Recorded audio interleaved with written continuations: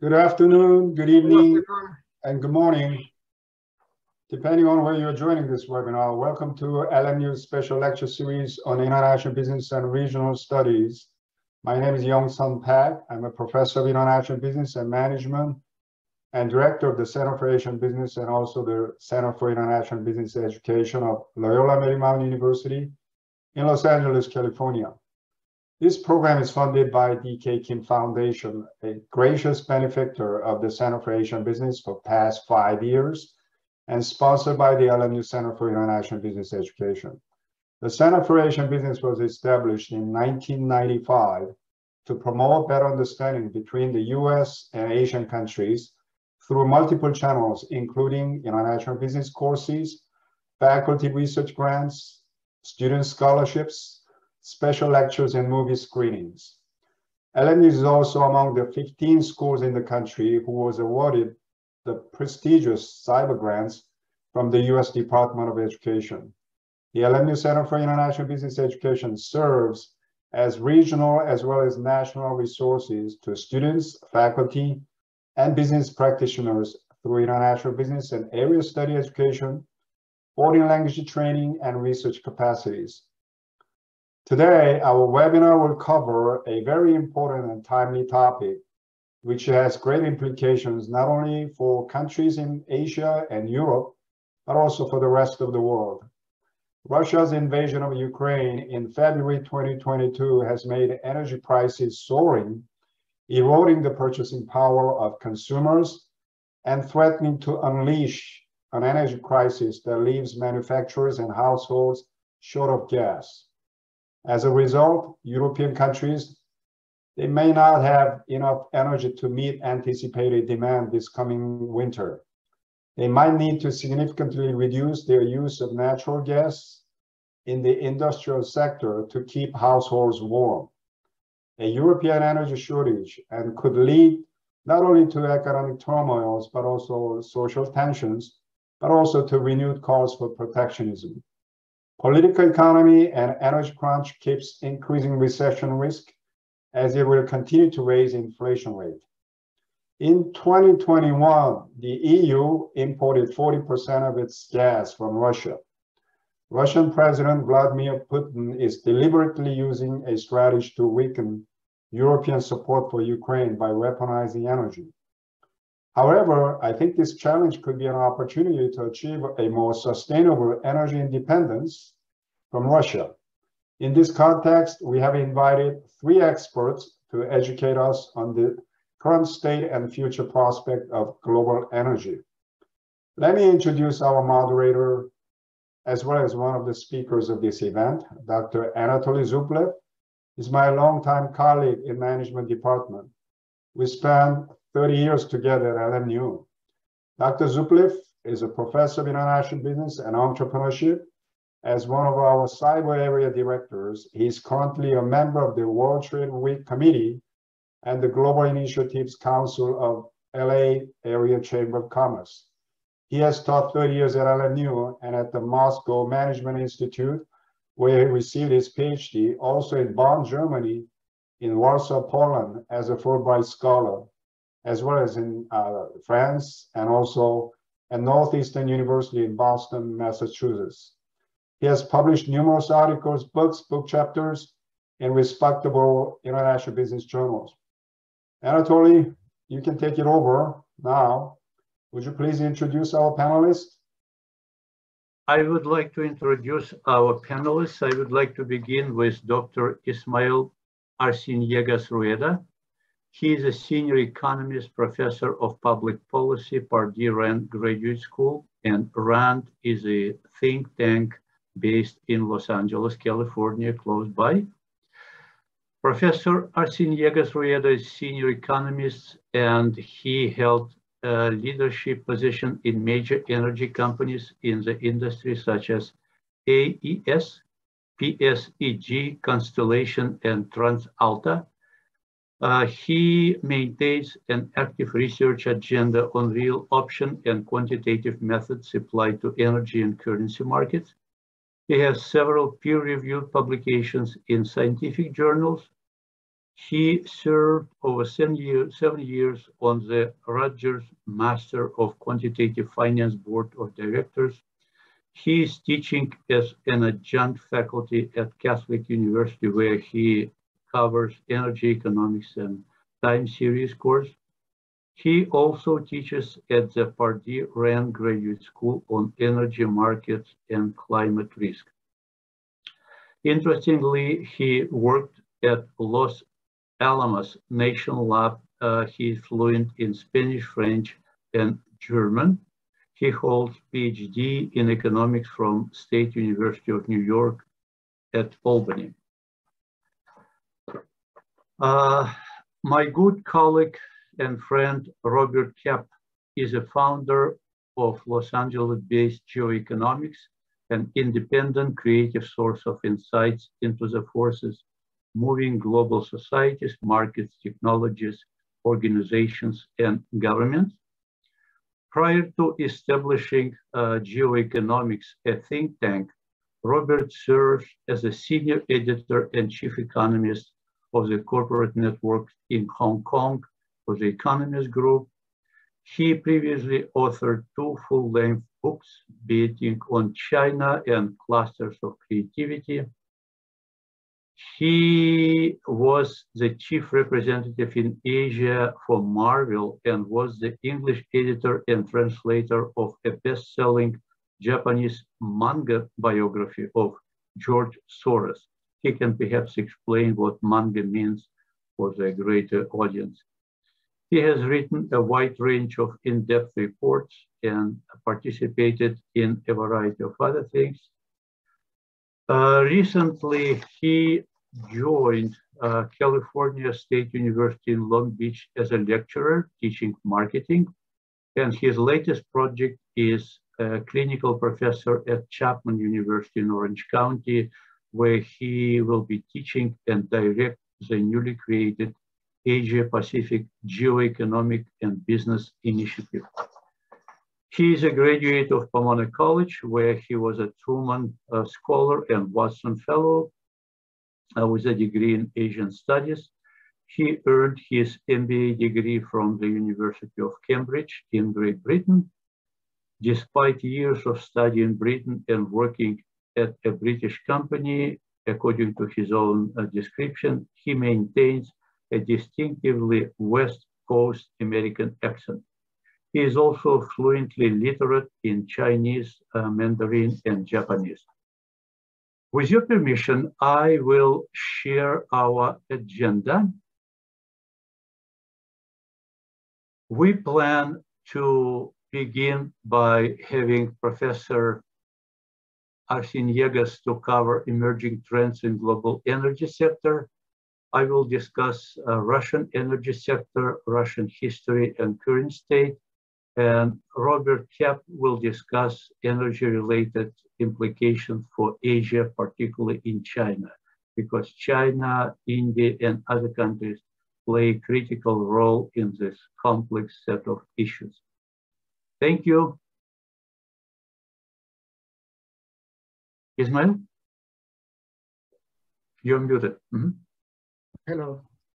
Yeah, so thank you, uh, Anatoly. Uh, thank you, Robert. Thank you, everyone, for the opportunity to participate in this um, uh, panel. I have prepared some slides. Uh, I can share my screen um, to go over them.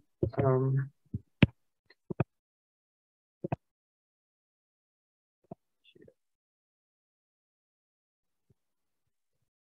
can, can, can folks see the slides?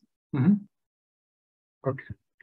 So I uh, what I want to talk in in this uh, discussion is about uh, the the emerging trends in the emerging trends in the energy sector, uh, especially given what's going on in the um, uh, with the uh, Russia and Ukraine um, war. So um, one thing that is important to understand is that before the war, before the Russian invaded Ukraine, the energy industry has been going for a, through a very strong transformation, which is a structural transformation. And that structural transformation is driven not by the war, but by actually a bigger war, which is the issue about how the world is reacting and is suffering climate change. And climate change is from the point of view of two types of risks. One is from the point of view of physical risks, which is very relevant today because we are seeing some of that in what's going on in Puerto Rico with Hurricane Fiona. You probably have read that the whole island is in a blackout.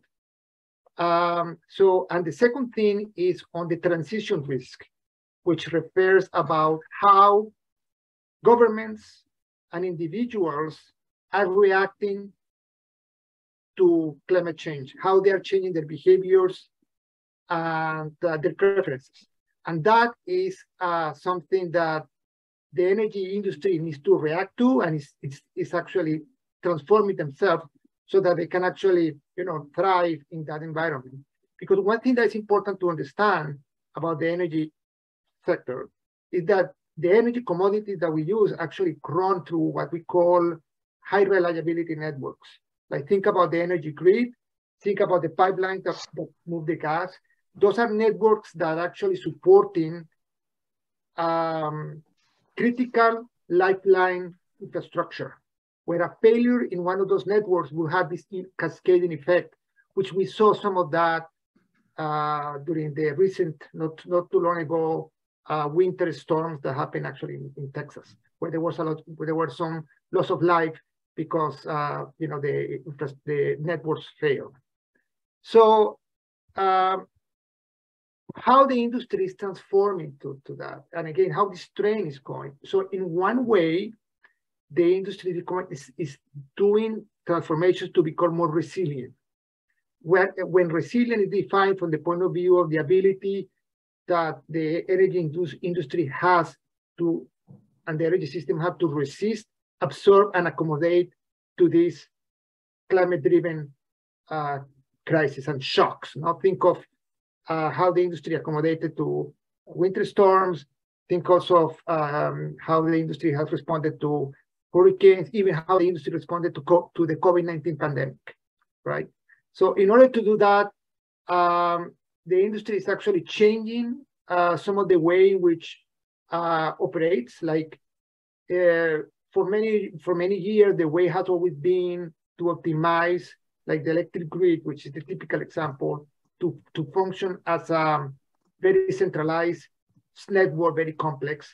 And now it's kind of evolving to the concept of having more decentralized grids. So if something fails uh, in one of in one transmission line or in one pipeline, the whole thing, the whole network is not going to collapse. And that's one of the things, lessons, for instance, that was learned about um, Puerto Rico, for instance.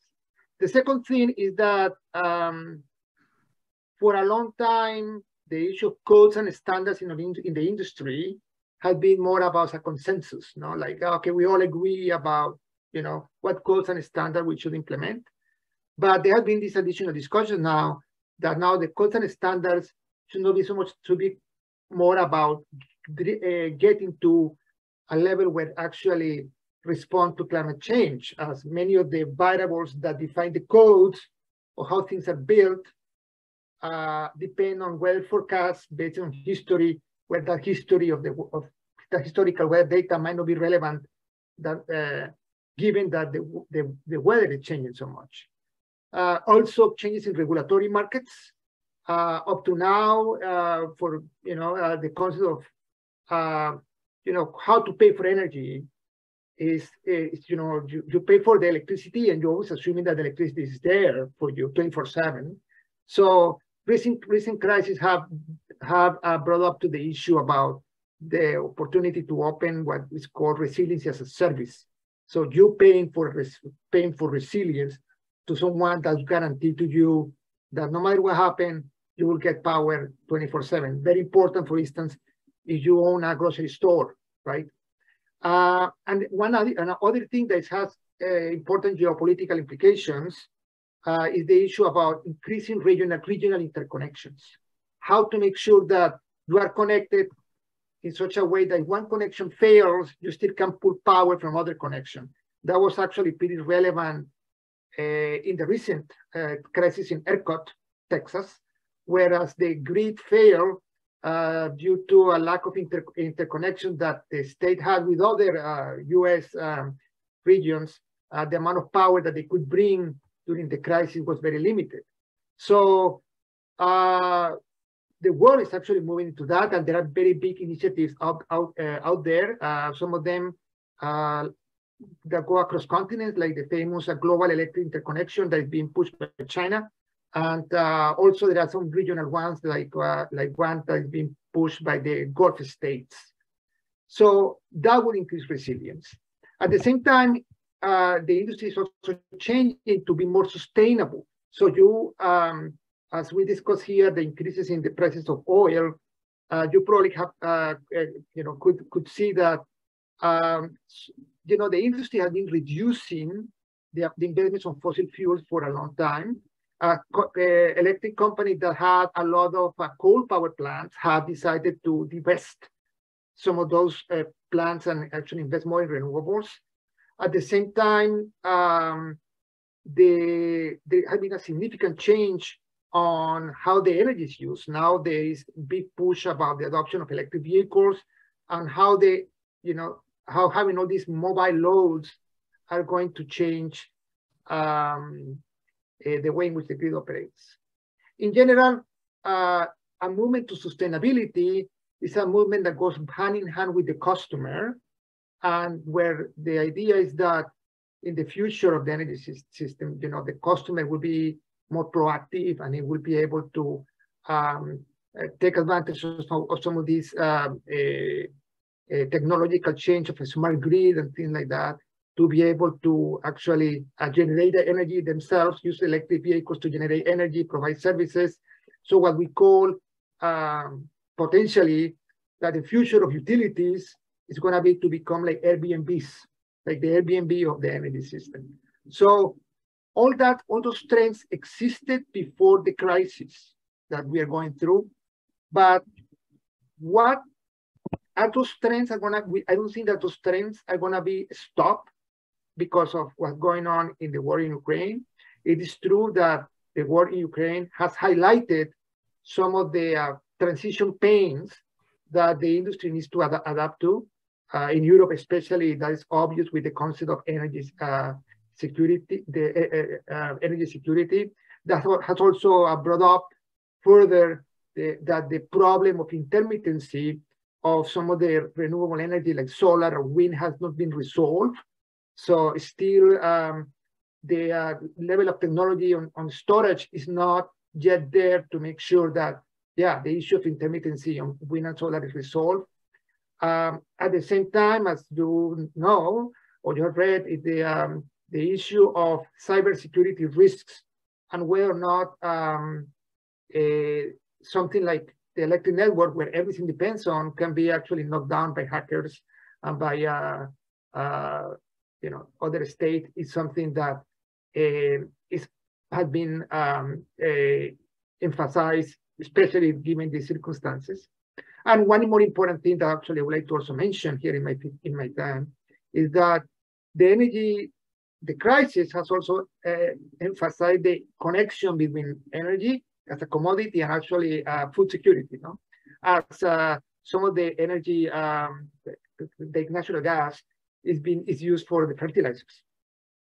But I'm very optimistic that actually this shock, like previous shocks that happened in the energy complex, I think, think about the oil shocks in the 70s, what this is going to do is actually it's going to be a source of innovation. Uh, uh, this uh, transition pains will open the door for uh, new things, new ideas, and some of these ideas we are seeing today, like um, having better batteries, or like for instance, the uh, mini, mini, they are having uh, mini nuclear power plants and having um, many innovations like the one I mentioned about the Airbnb of having utilities operating as an Airbnb.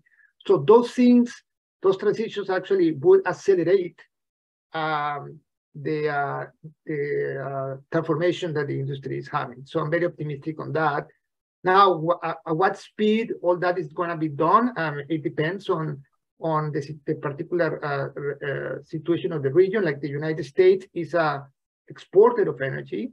Uh, other countries are net importers of energy. So that will change, but, the but I think that definitely the um, trends will continue and the, and the uh, energy system will become more resilient and more sustainable because climate change, climate change is a reality. With, with this, I end my, my, my presentation, Antonio. Okay.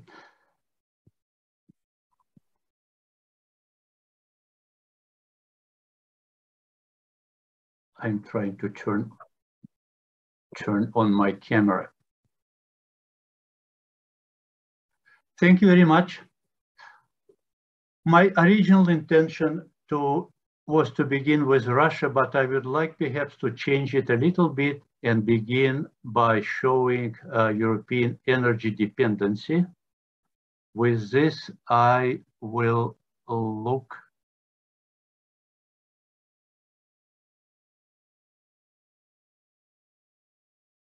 just a second at this slide.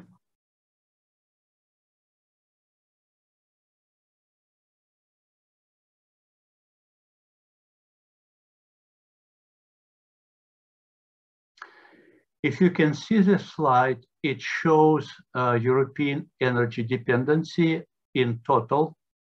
Those are European countries. In yellow, the year 2000. In blue, the year 2020. As you can see, many European countries are almost 100% dependent on energy, they import energy. If you look at selected kinds of energy, this is a European dependency on solid fossil fuels from 100% to significantly lower for different countries like Belgium, Italy, France, and so on. If we look at natural gas, it is shocking to see that almost many European countries, almost all of them, are highly dependent on imported energy. And over the years, this dependency has not changed significantly. And finally, oil. The same picture, you see very significant dependency on oil for many, many countries. And that creates a very interesting environment under which I will be uh, dropping this slide and reconnecting with my PowerPoint presentation. my presentation essentially begins with the map of Russia it is the largest uh, land on Earth. Uh, it stretches 11 zones, time zones.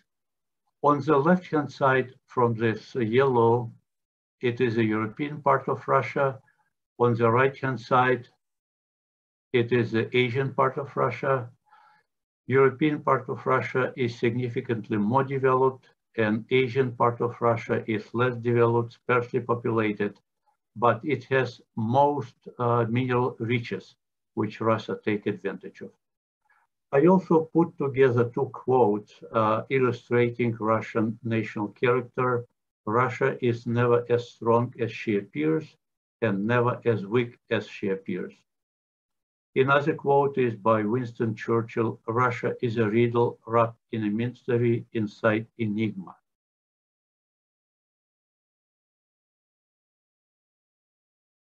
Uh, this slide shows the global role of Russia under the USSR. It used to be the former superpower. After demise of the USSR, Russia became once smaller as a population, but they make an effort to re-emerge as a global player and military player. historically speaking, this discussion is important because uh, depending on who you talk, uh, different sources uh, claim different statehood. According to my estimate, uh, Russia was established in 9th century uh, as a Kievan Rus. Uh, through multiple centuries, Russia became subject of partitioning and change by Vikings, by Tatars and Mongols. In the late uh, 19th century, Russia engaged in the devastating First World War, which ended up in the revolution, and eventually the humble attempt to establish democracy in Russia ended up in the Bolshevik Revolution in 1917.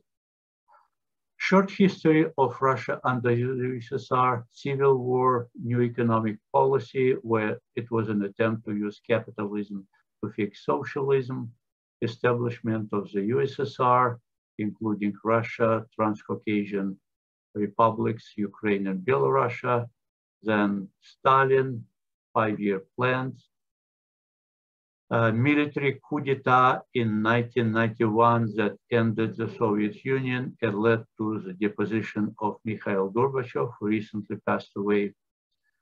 Russia goes through financial crisis almost every 10 or 15 years.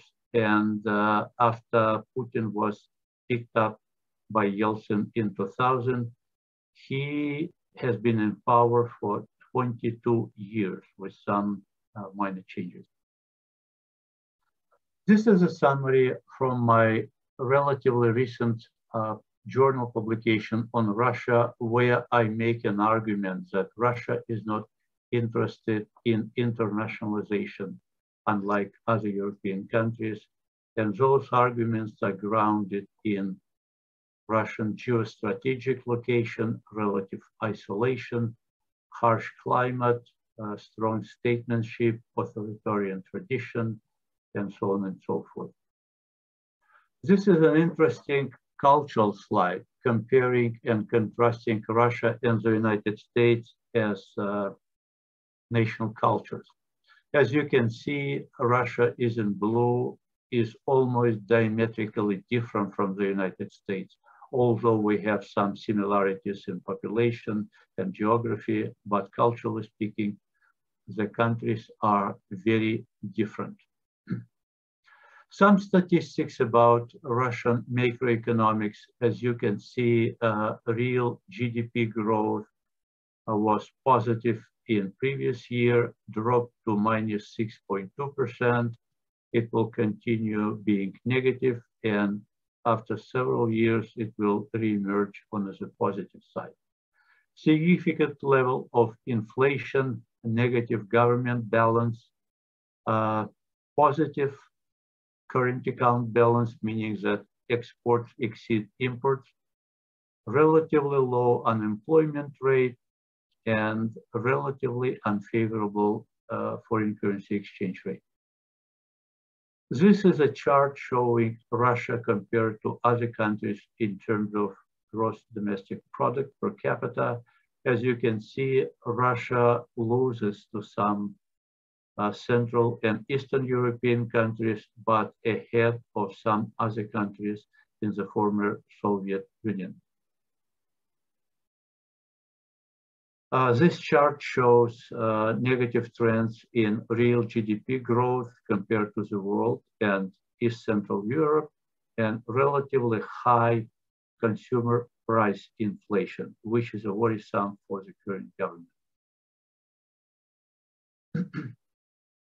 Some energy statistics in Russia, it is a global energy major, number one in proven gas reserves, second largest coal reserve, eighth largest oil reserves, major exporter. So all those things make Russia extremely strong as a global energy player. And it also gives the nation a leverage over some countries.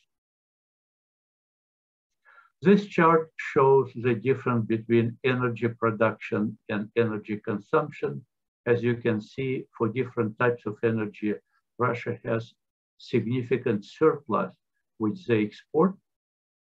These are the energy experts uh, in terms of consumption, uh, for the most part, by natural gas and petroleum, and relatively insignificant part is supported by hydro and renewables. Power generation by source, again, for the most part, powered by fossil fuels, nuclear power, and relatively insignificant by renewables. This chart shows production and consumption of petroleum and other liquids. Again, you see the difference between production and domestic consumption, which allows Russia to export significant amount of oil. Uh, gas reserves, largest in the world, followed by Iran, Qatar, United States, and Turkmenistan dry natural gas production and consumption, again, showing surplus that Russia exports. Russia is a major culprit in flaring natural gas, followed by Iraq, Iran, United States, which is not good for the environment. With your permission, I will skip certain slides showing how Russia exports by destination, in a sense, it shows that uh, all major markets for Russia are European countries, to some extent Asia and non-OECD countries. This is the last part of my presentation dealing with cross-country comparison between Ukraine and Russia. As you can see, Russia is much larger it has more developed armed forces, uh, higher GDP per capita, stronger military. Some historical highlights uh, illustrating Ukrainian statehood, difficult history. The nation was under different control and jurisdiction in different economic times, including Poland, Lithuania, Austrian Empire, the Ottoman Empire. Lately, uh, Ukraine was bullied by Russia and Russia took Crimea in 2014 and later uh, Russia invaded Ukraine on a full-scale uh, war. What drives war in Ukraine?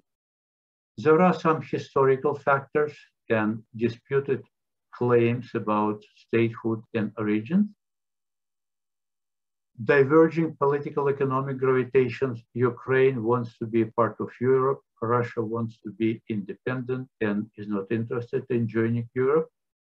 Plus, it has something to do with Vladimir Putin's personality, his humble origins, Napoleon syndrome, and current uh, pattern of authoritarian regime in Russia. This is the latest map of Ukraine showing that Russia took significant parts of Ukrainian territory and current battle is waging around south in the city of Kherson and around two enclaves, the uh, Donetsk Republic and Luhansk Republic, which are mostly unrecognized as official uh, Russian territories. Uh, Russia makes an effort to set up a referendum to legitimize this uh, claim, but recently Ukraine made significant progress in uh, the military operation against Russia. This is the latest statistics about war and uh, statistically speaking, according to different sources, uh, Russian troops lost about 50,000 people. Ukrainian losses are not known according to different sources.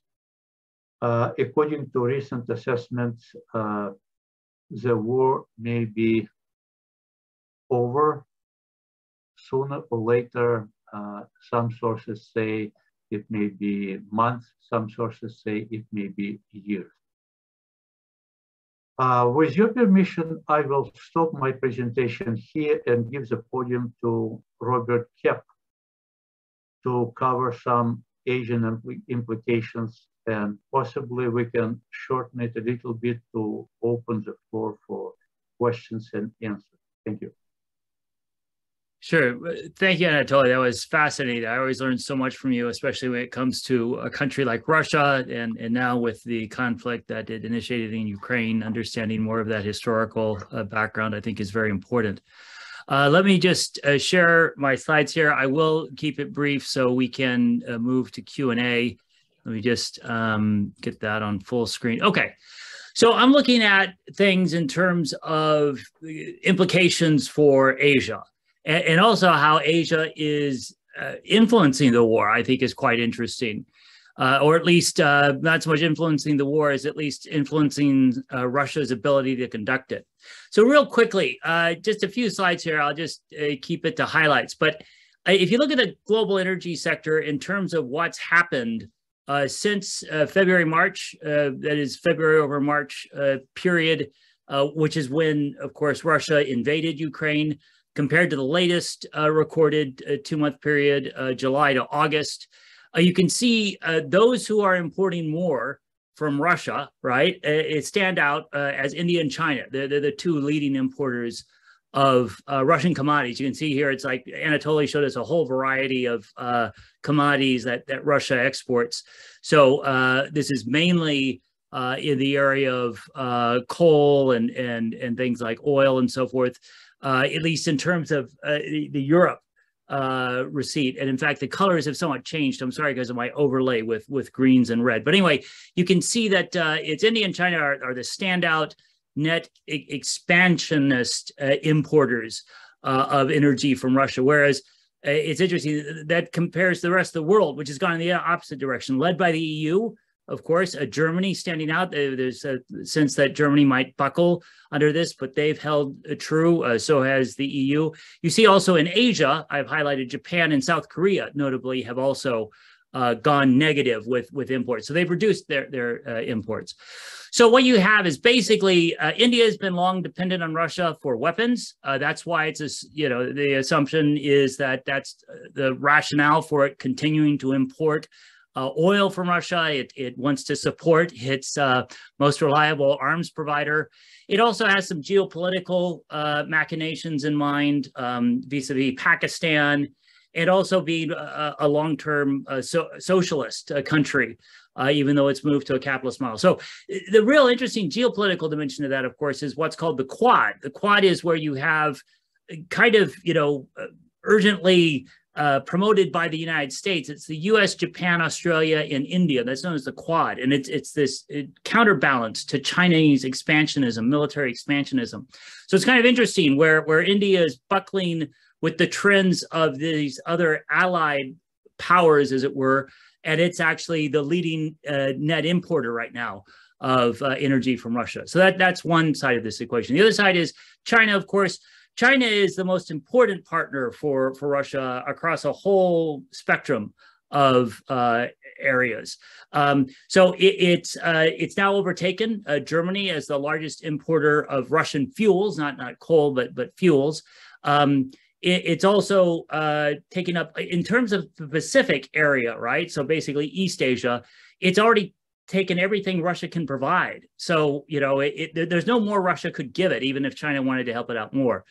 And one of the other interesting components to all this, of course, is there was this concern when in February, uh, China and Russia, around the time of the Beijing Olympics, announced this uh, partnership, you know, this friendship that no, no new that would no new no no no bounds right? Sorry it's a it's a repetitive uh, expression but no no bounds right? There would be there would be no limitations to this partnership.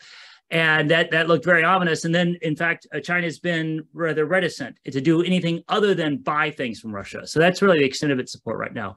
What's particularly interesting is just last week what there was the shanghai cooperation organization held in uzbekistan.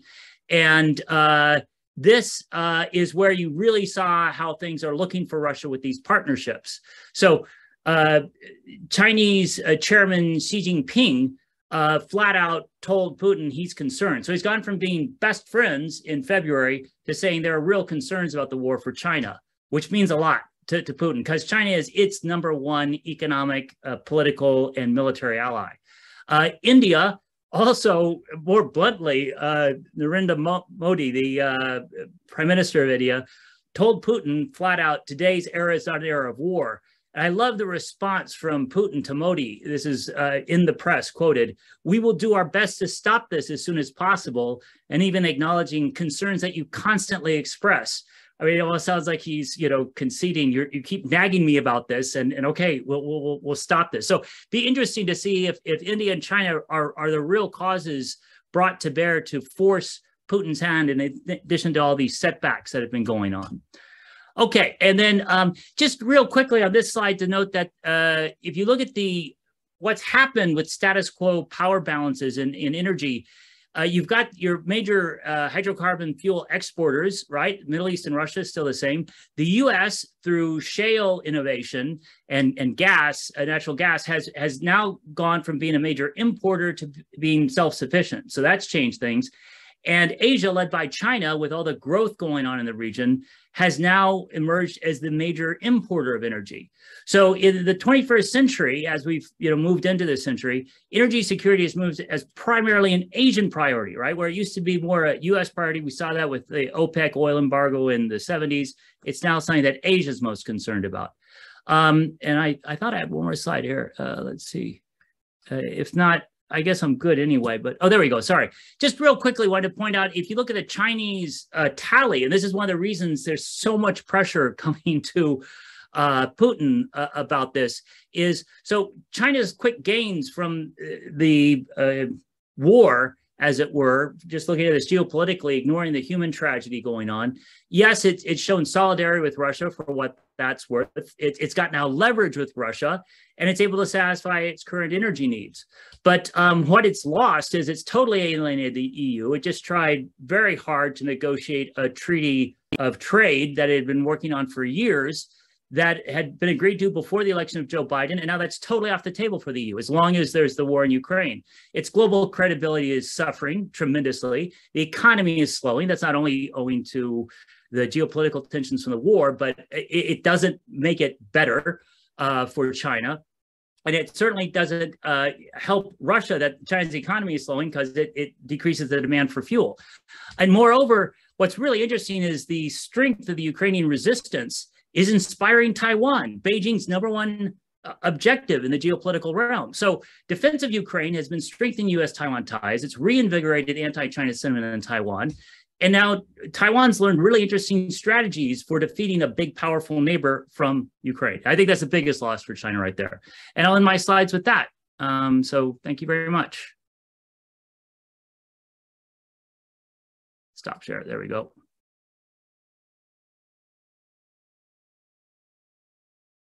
If I may take over as a panelist, I'm trying to put my,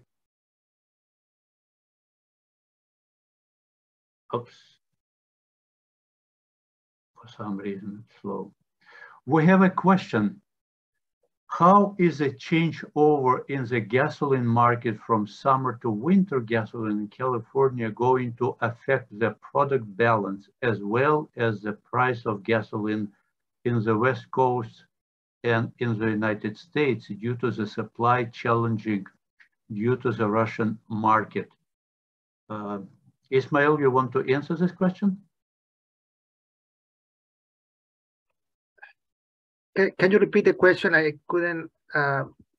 How is a changeover in the gasoline market from summer to winter gasoline in California going to affect the product balance as well as the price of gasoline in the West Coast and in the United States at large due to the supply challenges in the Russian market? Yeah, I mean, uh, as uh, Rob was saying, um, you know, the, the U.S.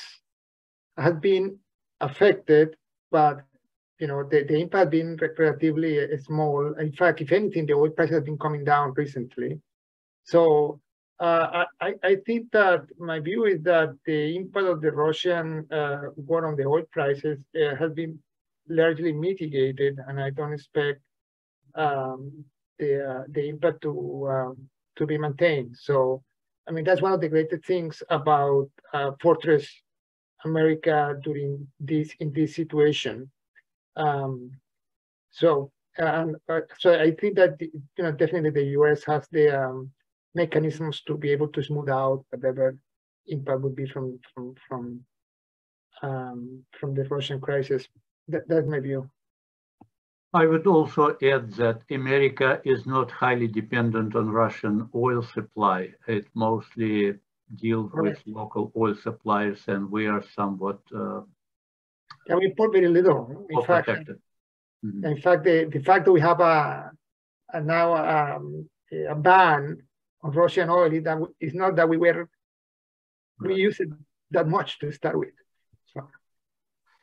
If I may, I would like to ask Robert on his view of China as a major player in energy consumption and strategic rival to the United States.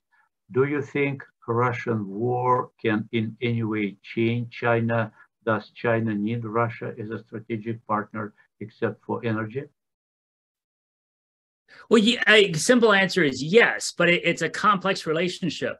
I think, you know, um, there's this curious personal affinity between Chairman Xi Jinping and President Vladimir Putin. And yet, I think geostrategically, if you look at the Kremlin and you look at Beijing and the, the ruling Communist Party, they deeply distrust each other. You know, uh, the former Soviet Union and China, once Stalin died, they they had this massive split in the communist world. The closest we've come to nuclear conflagration was uh, where the Soviet Union was prepared to strike against uh, Chinese forces uh, in its um, western borders uh, also in the 70s. And it was actually, curiously enough, the US that intervened. So it basically, it's a funny situation where China is very happy to take advantage of, for example, this pipeline that's been constructed as part of the Belt and Road Initiative. Uh, and it looks like, as the Chinese are want to say, a win-win, where a kind of joke I heard from a EU diplomat one time is win-win means I win twice from the Chinese side. But anyway, it's supposed to be helpful for Russia, helpful for China this, this gas pipeline. But uh, in fact, China, if you look at its total energy strategy, it's and this is something it actually deserves a lot of credit for. It's pushing EV. Yes, it, it continues, especially with the current drought conditions. It's gone away from hydro to coal uh, generation. It's importing the fuels from Russia, much against the uh, global norm. But China's long-term strategy is a kind of energy independence through uh, renewable uh, and electric vehicles and so forth. So uh, it's an outlier in many ways. I it, again just just sum up the the question you're you're asking there, Anatoly. I don't think I don't think China has any more interest in Russia than using it to China's benefit and and seeing it as a much more uh, complementary partner than almost any other country because they're both aligned against Western interest. And I imagine a sentiment is shared in Russia, but it's a very curious uh, kind of global partnership they have. Uh, Anatoly, if I could say something, is that um, China also understands that the trend in responding to climate change is a structural trend. And mm. they have, uh, it's not that because uh, gas is cheap from Russia, they're going to change their energy construct. In fact, uh, China has uh, significant technological uh, advantages in some critical uh, renewable technologies that, mm. if anything, they want to expand those. Yeah. So, um, I mean, I, I, couldn't agree more. This is just, uh, uh, you know, it's, it's from the perspective of China, this is just um, opportunistic relationship than more than more than a strategic relationship. It really, from an energy perspective, at least. If I may bring a little bit of a controversy, according to my limited knowledge of the solar panel industry, and recently I conducted a comparative study of solar panel between California hmm. and Southern Europe, I know that about 90% of the global solar, solar panel manufacturing is done in China. In a sense, China yeah. became a monopoly, and yet we claim the energy transition from fossils to solar panel. Do you foresee any challenge in fulfilling our mission in this transition, or we will remain dependent on China as a major, almost monopoly now? Is that question to Ismael or myself? Maybe I'll, I'll let uh, Ismael uh, answer first, and I can chime in. Expert. Uh, okay, I, I, my view on that, my view on that is simply that, um, well, I mean, one thing that, that we need to re recognize the way in which China innovate. Innovate, China is a, is a magical innovator. So some of the breakthroughs in solar technology actually happen here in the US. It's just China got much better in scaling up in economies of scale and therefore, you know, they have been doing marginal improvements, of course, by no, no, no doubt. So they, I mean, I could imagine that they would go better and better on, on the solar solar uh, uh, technologies. However, nobody said that solar is the latest and greatest from the point of view of the, of the uh, energy revolution. So there are many things where uh, the United, United States might actually leapfrog uh, China's um, uh, advances because we are better in breakthrough innovation that China is. But again, giving them credit for what they have done, which is still pretty uh, significant. Just, uh, I, I, think Ismael made great points. I just add, you know, th th there is actually this trade war going on with solar panels. Uh, led actually more by the EU, which, which, among the West kind of led, and Ismael can correct me if I uh, deviate from from what the consensus view is. But as I understand it, you know, the EU really led in terms of pushing, like with Germany and, and, and other countries, they provided subsidies and ahead of the, United States. Of course, California has been a leader with that. But anyway, they they they really were moving forward with uh, integrating solar energy to their electric grids.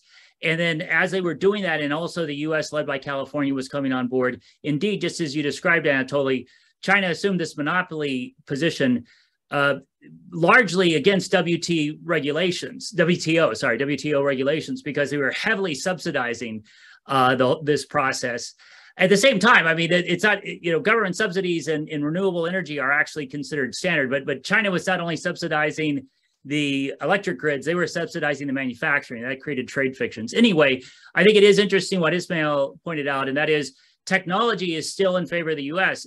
and uh, Europe, for that matter, but but especially I think the U.S. And also the trend now is towards decoupling. I don't think China's also had a, a huge monopoly in rare earths. And that's easily enough replaced. California used to be a leader in rare earths. California, Nevada, and Colorado can easily match uh, China's rare earth uh, output. We just haven't been doing it because it's extremely polluting but it, the capacity is there. And, and we've developed new technologies to extract those rare earths more, more carefully. By the way, rare earths are very uh, critical for electronics and especially EVs and, and the like. So anyway, I, I think it's going to be an interesting back and forth. China's in a strong position now. I wonder how long that will last. I, I don't think it will be as strong as it is, and it may actually turn into a weakness as more and more countries respond to China's behavior and think we have to have trade as well as energy security vis-a-vis China, and, and they make sure China doesn't have that kind of monopolistic uh, power. I would like to bring another controversy. Several years ago, a major European country, Spain, decided to embark on solar panel monopoly, invested tremendous amount of money, subsidies, government support. And after some time, they discovered that China is a major manufacturer and the whole country went bust. I would like to bring into consideration the cost component. My understanding is that solar panel is important in environmental context, but how does it compare in terms of the cost on a per kilowatt basis with conventional energy? Uh, Ismael, if you have this information, it would be interesting to hear. Yeah, uh, what, what I, I mean, one thing, uh, yeah, definitely, uh, uh, the drop in some of the cost of production, uh, solar solar uh, energy is competitive, competitive with some of the fossil fuel technologies in such a way that uh, that's something that didn't happen like three years ago. No? That when the subsidies were required to make sure to to make the solar energy, solar kilowatt hours cost of production competitive, but one thing I would like to put out there also is that uh, solar energy is an intermittent energy, right? So it's, you know, they produce when the sun is out. And um, it, one important problem that has yet not been fully figured out yet is the issue about how to resolve that, that intermittency with storage, storage batteries, etc.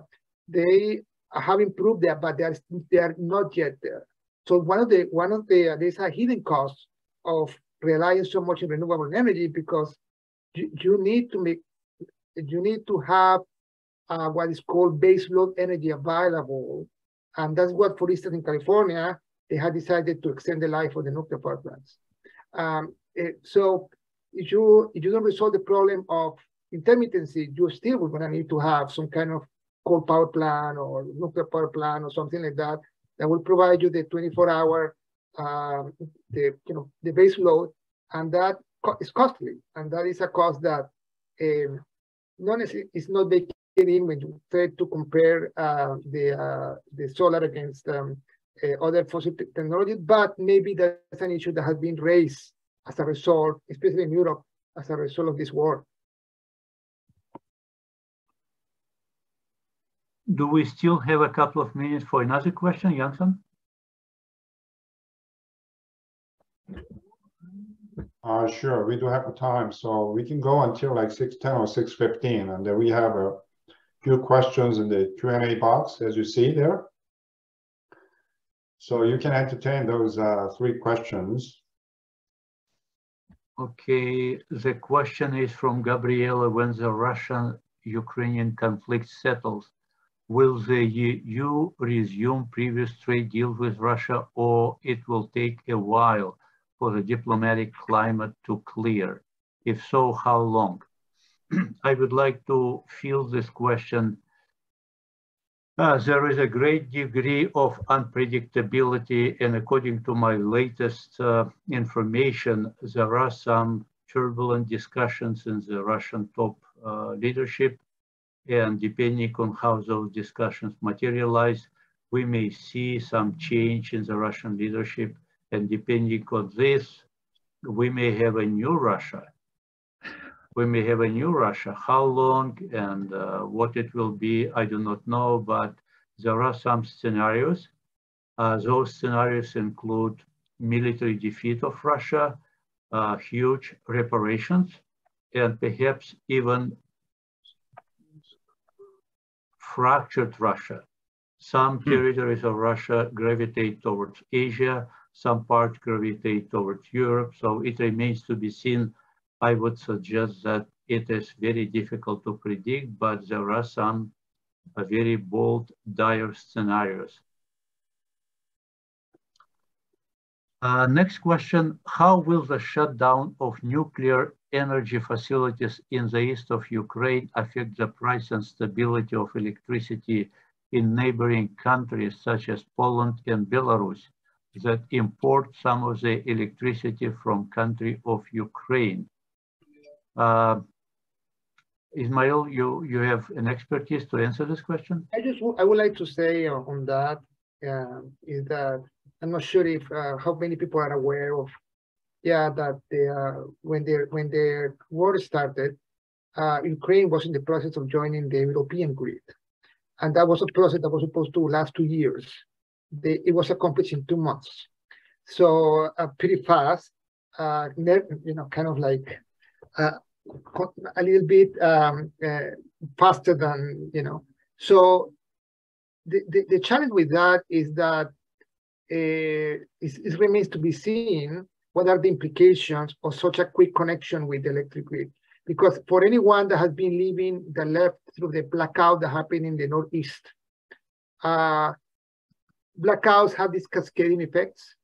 And um, you, you never know if, for instance, a blackout that starts in Ukraine for some XYZ reason, maybe the war, maybe something else, might actually end up creating a massive blackout in, in, in significant parts of Eastern Europe just because the way this interconnection was done. I mean, these are highly complicated uh, uh, processes that are supposed to take two years because it's complicated, but it was achieved in two months due, due to the um, uh, pressing concerns of Ukraine being completely islanded as a result of the war. So that is one thing that it remains to be seen, and it's, it's one of the issues of concerns.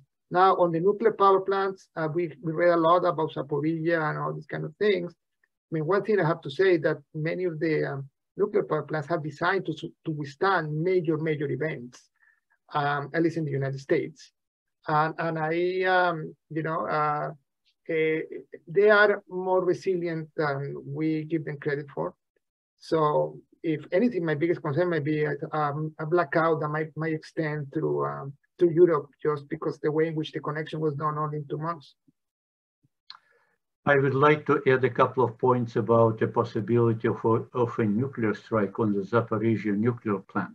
According to my unofficial information, there have been some communication between American military leadership and Russian political leadership, and it was firmly stated that if there is any attempt to use nuclear strike against Zaporizhia, there will be severe consequences of hmm. equal nature. We do hmm. not know how and when, so I personally do not expect any trouble from Zaporizhia. I would also like to comment on Poland and Belarus. Poland is 63% dependent on imported gas, but a uh, good point is that they are close to Baltic countries who managed to build liquefied gas terminals recently.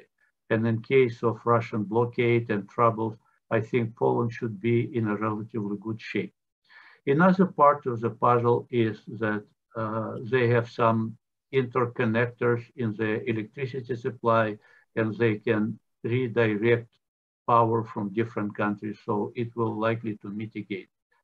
About Belarus, uh, I think it's a relatively small country oscillating between West and East, and the current president, Mr. Lukashenko, has been so skillful in his political survival for over 20 years. I think in case of trouble, he will switch to the West. In case of trouble from the West, he'll switch to the East. I don't see any potential problem with uh, Belarus. Hmm. It's a relatively small country. You can go ahead and the last question, one more question, Anatoly. Yeah. May I ask my own question? And I would like to ask uh, Robert. I was educated back in the USSR and I did not realize that Russia took some Chinese land during the 19th century, during the Opium Wars. And now when Russia became weakened, although there is a technical agreement between China and Russia on the status quo, do you foresee any time when weakened Russia will be again taken over by Chinese and Chinese land will be returned back to China, creating a new reality in the region? Well, if I understand correctly, Russia has already felt threatened by Chinese commerce in the sense of there was a, a, kind of Chinatown emerging outside of Moscow, and that was then destroyed a few years ago. And I think you see that. You see that along you know the the border uh, Heilongjiang and, and Siberia where Chinese traders have come over and and they're they're prospering and it's um uh, by the way it's not it's not un, unlike I mean we we have to try and separate out uh, Chinese cultural norms, which really support an entrepreneurial spirit, and, and, and you have these massively successful traders th- throughout centuries of history. And so, also in Southeast Asia, you see this, but then local populations who don't have those merchant skills often grow resentful. I've heard of that uh, taking place, like in Siberia. There's a lot of resentment for the, the, the, manifest Chinese wealth that's appearing in an otherwise poor area of Russia. But in terms of land, I mean, China is very land acquisitive, if anyone, and in fact, it's energy related, or, or that's one of the main factors. If you look at the South China Sea, um, you know, China has been doing this island building uh, against uh, claims by, in fact, UN recognized claims for the Philippines and Vietnam and Malaysia and so forth. So China is very sensitive to to sovereign territory, but it just um, not that it couldn't happen, and they've been very willing to try this with uh, India along the disputed border with India. But unless, like uh, your some of your predictions indicate, Anatoly, if if Russia were to go pro-West, um, then maybe it would try that. But it, it just seems low on uh, the list of priorities. And it's already, every time it does this, it, it kind of gets itself into trouble. I mean, there, there's objections. So South China Sea is so strategically important to China. It seems very eager to claim territory there. With India, it's had to negotiate an, uh, very unstable truce um, and back off a bit. It has less strategic interest in acquiring Russian land, and it's not really threatened by Russia. But if but if Russia were to go massive, if Russia were to become like Ukraine and and be perceived by uh, China the way uh, Russia is currently perceiving Ukraine as an expansion, say, of NATO or something, then it could happen. But I think that's a very big hypothetical and, and fairly unlikely. One question was about the impact of Western sanctions on the Russian economy. My understanding is that there have been very significant impacts, including limitations on high-tech components for Russian civilian manufacturing and military production, uh, harsh economic things, and the worst is yet to come. I believe there is a very negative, strong impact, and it will get worse before it gets better. Hmm. Uh, I would like to ask the audience if there are any other questions that we can address.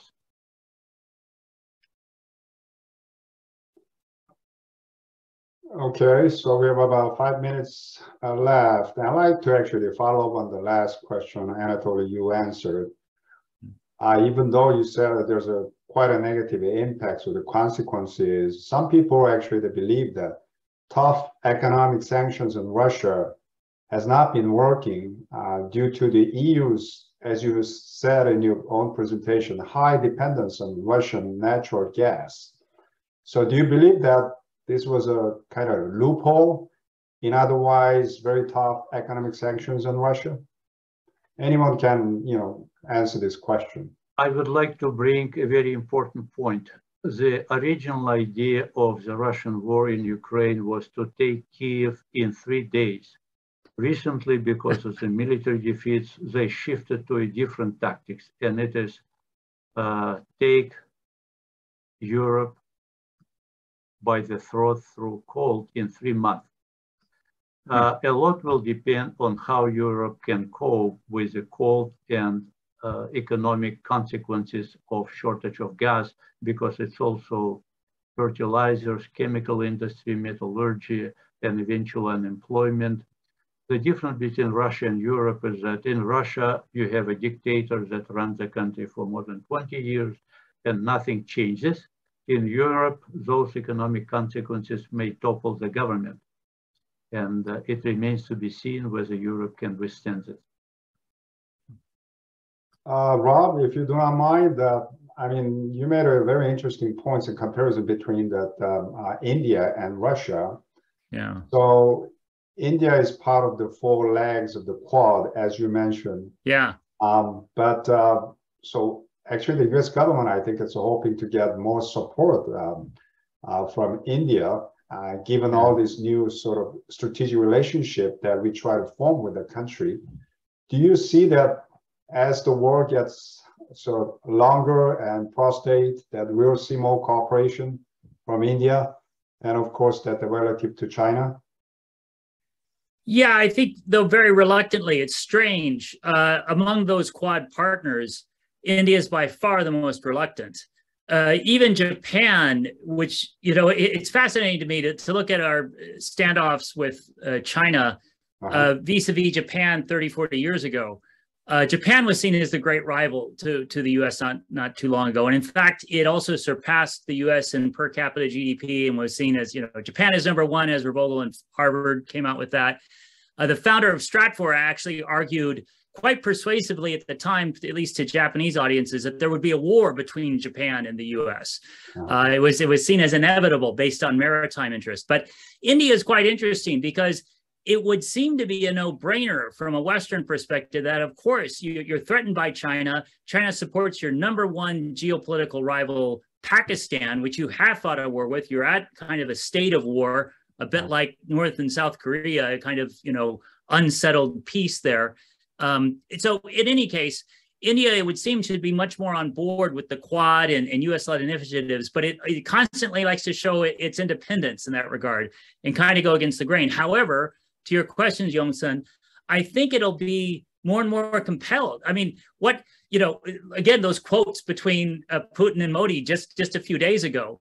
Uh, where where basically Modi is kind of slapping Putin down in a very public way, very embarrassing way, mm-hmm. and and who would want to partner with Russia, especially militarily? I can't imagine India war planners feeling very confident in their Russian-made equipment based on the performance, particularly of Russian tanks, um, which seem to be especially dismal in, in this fight. The Air Force, I mean, you can't think of a single. The, the Russian flagship was sunk Okay, so so India's two major pillars of military strategy are its land force. It has the world's well, it used to have the world's largest standing army. That's now been replaced by China, but still this massive standing army, and its navy. And it's increasingly needing to upgrade its navy because of Chinese provocations from the, Indian perspective. And yet, you know, the Russian flagship was sunk with U.S. technology and Ukrainian strategy. So I, I just think, although they don't want to, New Delhi I think they yes will come more into this kind of Western fold very very reluctantly, but because there's no one else they can play off against. Sure. Okay. Um, you know, unfortunately, we are running out of time. So thank you so much, Anatoly, for moderating this engaging and intriguing conversation with Rob and Ismael. Um, Rob and Ismael, uh, thank you so much for talking to LMU community thank you. on your busy schedule. So we really appreciate sharing with uh, us your insights into this important and timely issue. Uh, your presentation was very informative and enlightening. Before we wrap up the webinar, I like um, actually that the, I like to ask you um, to participate in the brief survey. Um, and I really appreciate it if you can complete it. So finally, I would like to thank all of you who joined this webinar today. I hope that you have enjoyed the program today. We'll be back with uh, another exciting program uh, on cybersecurity uh, in October. I think the dates are already set. It's October 11th um, between 6.30 and 8 p.m. Um, so please stay safe and healthy until then. And uh, once again, thank you so much, everyone. Good night. Thank you. Thanks, everybody. Good night. Good night.